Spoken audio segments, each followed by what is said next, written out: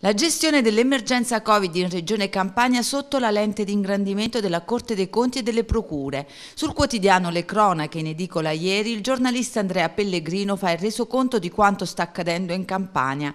Sembra quindi che oltre al report anche la magistratura è al lavoro. Affidamenti a case di cure private, tema dell'inchiesta di report andata in onda nella serata di lunedì in cui è stata posta l'attenzione in particolare sul Campolongo Hospital, così come si è parlato della realizzazione realizzazione degli ospedali modulari Covid Center, entrambi oggetto di denuncia da parte del Movimento 5 Stelle.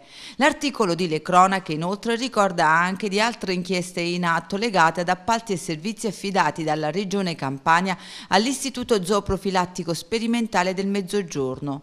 Sono diverse le procure provinciali al lavoro per far luce su alcuni elementi poco chiari, alcuni denunciati dalla pentastellata Valeria Ciarambino.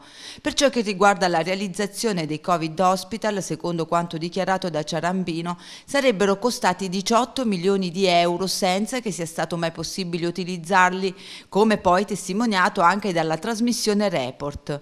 Ma dall'esponente dei 5 Stelle arriva anche una denuncia ancora più grave. Ammonterebbe a 130 milioni di euro l'importo destinato alle case di cura private per l'assistenza a pazienti Covid, che secondo quanto denunciato dalla consigliera regionale non sarebbero però mai stati accolti nelle strutture. Secondo quanto emerge, pare che al vaglio della magistratura ci sia un accordo sottoscritto tra Regione Campania e case di cura private che avevano manifestato la disponibilità ad accogliere pazienti Covid in questi tre mesi di emergenza epidemiologica acuta.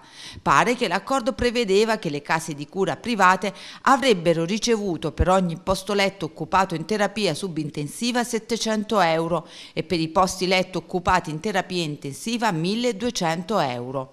Le spese sostenute per farmaci e dispositivi di protezione individuale erano totalmente a carico della Regione Campania. Un accordo che, secondo quanto emerge dalle pagine di Le Cronache, è da considerarsi tra i più vantaggiosi d'Italia. E non mancano inoltre anche denunce su posti letto tagliati nel pubblico con il fine, secondo il Movimento 5 Stelle, di favorire il settore della sanità privata.